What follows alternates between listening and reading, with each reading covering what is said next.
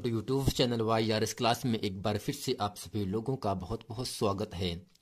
दोस्तों, कक्षा दस विषय विज्ञान में मैंने आप लोगों को मॉडल पेपर 2022 का जो पहला सेट आपका है, इसमें मैंने खंड का में जितने भी बहुविकल्पीय अतिरिक्त के महत्वपूर्ण प्रश्न थे, वो मैंने इसके पहले के वीडियो में अच्छे तरीके से आप लोगों को बता दिया था।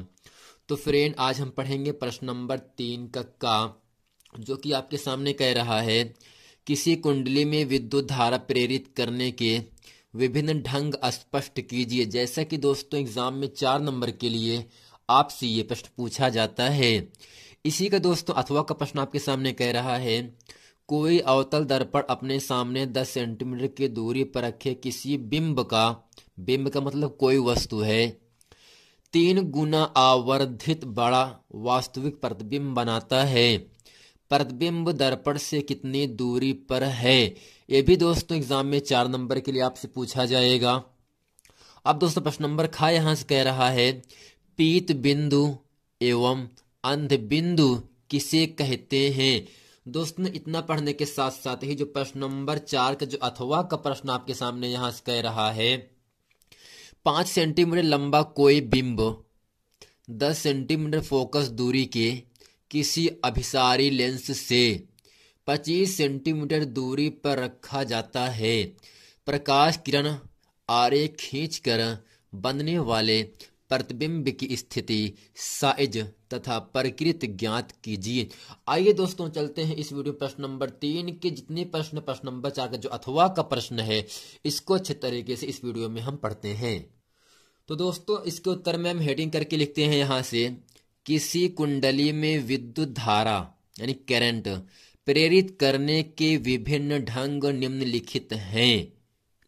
इसमें लिखेंगे नंबर एक करके, दूसरी कुंडली में चुंबकीय क्षेत्र, यानी चुंबक के चारों ओर का वह क्षेत्र जहाँ तक उसका आकर्षण गुण पाया जाता है, चुंबकीय क्षेत्र कहलाता है। दूसरी कुंडली में चुंबकीय क्षेत्र रेखाओं में परिवर्तन करके, दूसरे लिखेंगे यहाँ से चुंबक के कुंडली के भीतर यानी अंदर या बाहर गति करके। तीसरा यहाँ से है, कुंडली में प्रवाहित विद्युत धारा में परिवर्तन करके। चौथा यहाँ से है, कुंडली को चुंबकीय क्षेत्र में घुमाने से, यानी दोस्तों, किसी कुंडली में विद्युत धारा प्रेरित करने के कई तरीके होते हैं। जैसा कि यहाँ पहला है, दूसरी कुंडली में चुंबकीय क्षेत्र रेखाओं में परिवर्तन करके और इसी के साथ साथ ही दूसरा यहाँ से है चुंबक के कुंडली के भीतर या बाहर गति करके। तीसरा है कुंडली में प्रवाहित विद्युत धारा में परिवर्तन करके। चौथा यहाँ से है कुंडली को चुंबकीय क्षेत्र में घुमाने से। ये सभी चीज़ें हम कब करते क्या है? किसी कुंडली में विद्युत धारा को प्रेरित करने के लिए किया जाता है। अब दोस्तों प्रश्न नंबर तीन का, का अथवा आपके सामने यहाँ से कह रहा है। तो दोस्तों प्रश्न में दिया है अवतल दर्पण में जो वस्तु की दूरी है, जिसे लिखते हैं यू से, यू कमान दिया है दस सेंटीमीटर। अवतल दर्पण के लिए यू कमान माइनस में होता है। जबकि दोस्तों, यहाँ से वास्तविक प्रतिबिंब के लिए अवतल दर्पण में आवर्धन माइनस में होता है। तो दोस्तों, यहाँ से लिखेंगे दिया है, यहाँ से लिखेंगे दिया है। अवतल दर्पण में वस्तु की दूरी अवतल दर्पण में, अवतल दर्पण में वस्तु की दूरी, वस्तु की दूरी u बराबर माइनस दस सेंटीमीटर। दोस्तों, चाहे दर्पण उत्तल हो या अवतल हो, वस्तु की दूरी u का मान हमेशा माइनस में ही होता है चूँकि अवतल दर्पण में, अवतल दर्पण में वास्तविक प्रतिबिंब के लिए, वास्तविक प्रतिबिंब के लिए, प्रतिबिंब के लिए आवर्धन दोस्तों होता क्या है माइनस में? आवर्धन ऋणात्मक होता है। आवर्धन ऋणात्मक होता है। तो दोस्तों, आपको याद क्या रखना है? अवतल दर्पण में वास्तविक प्रतिबिंब के लिए जो आवर्धन होगा, तीन गुना, पाँच गुना, छह गुना, आवर्धन को हम यम से लिखते हैं तो यम का मान यहाँ से दोस्तों होगा माइनस में। इसलिए दोस्तों, यहाँ से हो जाएगा आपका आवर्धन क्षमता। आवर्धन क्षमता यम बराबर यहाँ से दिया है तीन गुना का मतलब माइनस तीन हो जाएगा। अब दोस्तों करते क्या है यहाँ से? एक सूत्र होता है चूँकि आवर्धन क्षमता बराबर, आवर्धन क्षमता आवर्धन क्षमता यम बराबर, माइनस वी अपान यू जहाँ दोस्तों वी क्या है? वस्तु की प्रतिबिंब की दूरी है, जबकि यू क्या है? वस्तु की दूरी होता है।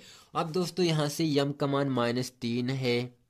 माइनस वी आपको ऐसे रखना है, जबकि यू का मान प्रश्न में दिया है माइनस दस। अब दोस्तों, करते क्या है यहाँ से? माइनस माइनस कट गया। माइनस तीन को अपन वन मान लीजिएगा और तिरछा गुड़ा कर दीजिएगा। वी इक्यानम, यहाँ से वी हो गया आपका, जबकि माइनस दस तिहाई तीस सेंटीमीटर। दोस्तों, यहाँ से हुआ क्या? जो आपका प्रतिबिंब की दूरी है, वो दर्पण के पीछे तीस सेंटीमीटर की दूरी पर है। दोस्तों, ये जो प्रश्न एग्ज़ाम में चार नंबर के लिए आपसे पूछा जाता है और इसी प्रश्न का उत्तर भी बराबर माइनस तीस सेंटीमीटर, इस प्रश्न का उत्तर हो जाता है। अब दोस्तों, प्रश्न नंबर तीन का, प्रश्न नंबर खाप के सामने यहाँ से कह रहा है प्रश्न नंबर खा है। पीत बिंदु तथा अंध बिंदु किसे कहते हैं?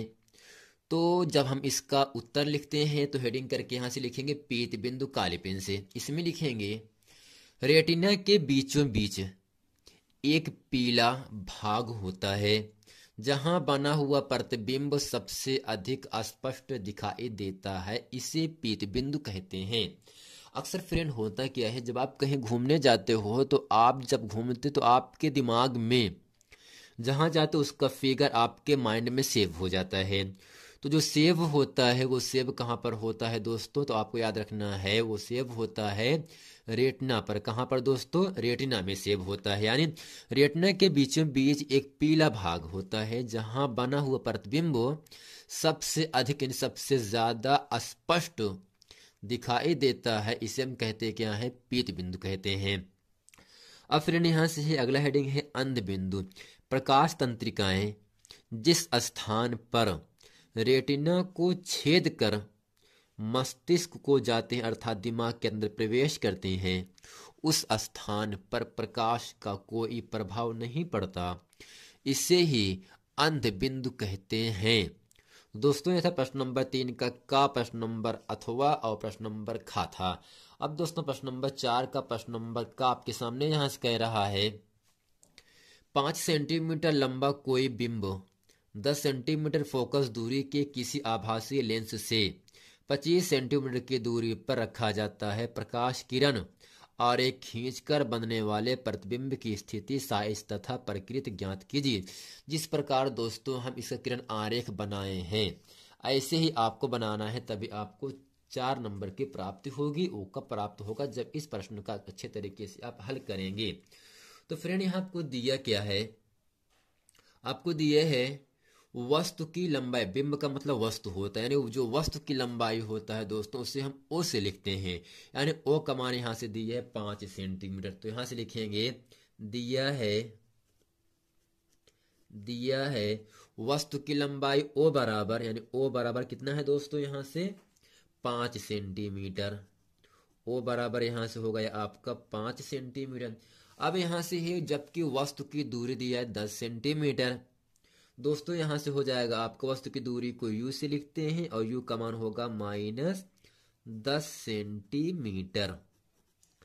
अब करते हैं, फ्रेंड क्या से करते क्या है? जबकि आभासी लेंस से 25 सेंटीमीटर की दूरी पर रखा जाए क्या रखा जाए यानी जो फोकस दूरी दिया है प्रश्न में, वो दिया है 25 सेंटीमीटर। यानी दोस्तों, यहाँ से आभासी लेंस के लिए यफ का मान प्लस में होता है, अर्थात यहाँ से फोकस दूरी यफ बराबर 25 सेंटीमीटर। मीटर दोस्तों, उम्मीद करते हैं यहाँ तक अच्छे तरीके से आप लोगों को समझ में आ गया होगा। अब दोस्तों, होता क्या है? यू कमान दी है एफ़ कमान दी है तो लेंस के सूत्र से हम वी कमान निकाल सकते हैं क्योंकि यहाँ से लिखेंगे लेंस के सूत्र से। लेंस के सूत्र से। तो फ्रेंड, सूत्र होता है यहाँ से वन अपान एफ़ बराबर one upon V minus one upon U. अब करते क्या है यहाँ से दोस्तों? वन अपान एफ़ का मान है पच्चीस बराबर वन अपान वी आपको निकालना है, जबकि minus one upon U U का मान दिया है माइनस दस। अब करते क्या है दोस्तों यहाँ से?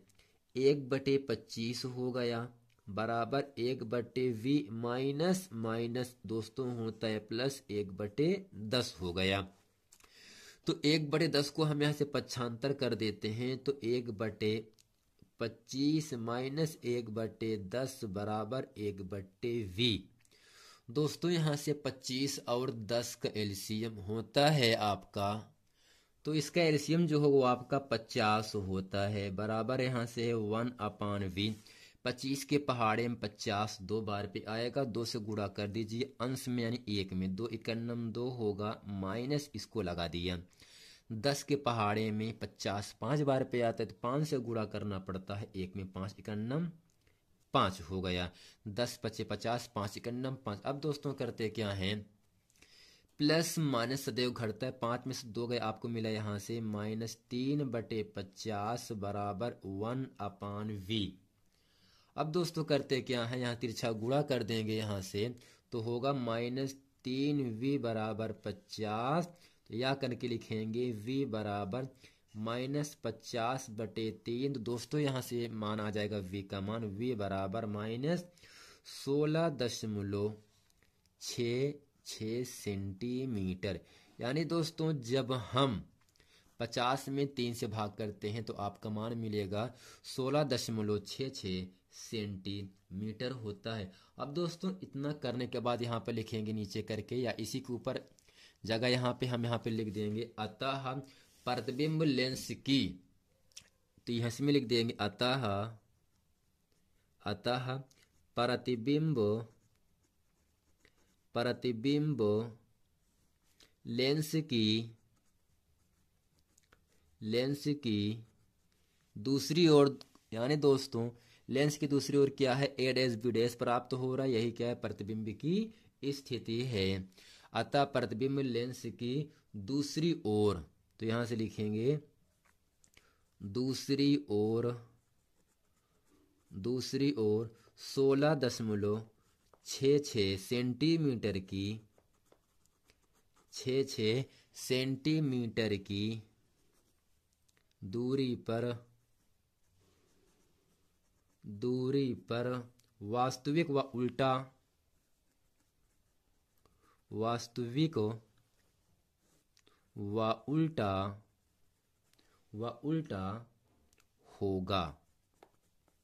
अब दोस्तों, इतना करने के बाद करते क्या है? यहाँ से कह रहा है, साइज़ तथा प्रकृति ज्ञात कीजिए।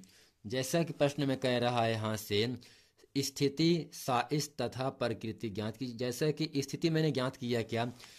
प्रतिबिंब लेंस के दूसरी ओर ए डैश बी डैश अर्थात सोलह दशमलव छह छह सेंटीमीटर की दूरी पर वास्तविक व वा उल्टा प्राप्त होगा। तो इसके साथ अब यहाँ से कह रहा है, साइज़ तथा प्रकृति भी ज्ञात करना है। दोस्तों, साइज़ और प्रकृति ज्ञात करने के लिए हमें लगाना पड़ता है आवर्धन। और जैसा कि दोस्तों सूत्र होता है यहाँ से आवर्धन आवर्धन। दोस्तों, सूत्र यहाँ से होगा आपका आई अपान ओ बराबर, वी अपान यू। अब यहाँ से आई आपको ऐसे रखना है, जबकि ओ का मान यहाँ प्रश्न में आपके सामने दिया है कितना? पाँच सेंटीमीटर। यानी आई बटे पाँच और वी का मान अभी निकाला था आपके सामने पचास बटे तीन। तो यहाँ से रखेंगे बराबर करके पचास बटे तीन गुड़े यू का मान आपके सामने यहाँ से है, माइनस पच्चीस है। तो यह हो गए दोस्तों आपका माइनस पच्चीस। अब करते क्या है? पच्चीस दूनी पचास। पच्चीस दूनी पचास तो यहाँ से हो जाएगा आपका थ्री आई बराबर। थ्री आई बराबर पाँच दूनी दस यानी माइनस दस तो यहाँ से हो जाएगा आपका आई बराबर माइनस दस बटे तीन। अब दोस्तों, जब यहाँ से भाग करेंगे तो आपका मान मिलेगा आई बराबर माइनस तीन दशमलव तीन तीन सेंटीमीटर। माइनस तीन दशमलव तीन तीन सेंटीमीटर। अब दोस्तों, यहाँ से लिखेंगे अतः प्रतिबिंब। नीचे लिखेंगे यहाँ से प्रतिबिंब उल्टा। उल्टा तथा तीन दशमलव तीन तीन सेंटीमीटर ऊंचाई का होगा। ऊंचाई का होगा। का होगा।